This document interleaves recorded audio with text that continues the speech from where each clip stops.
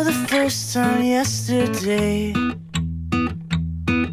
I finally found the missing part of me. I felt so close, but you were far away. Left me without anything to say. Now I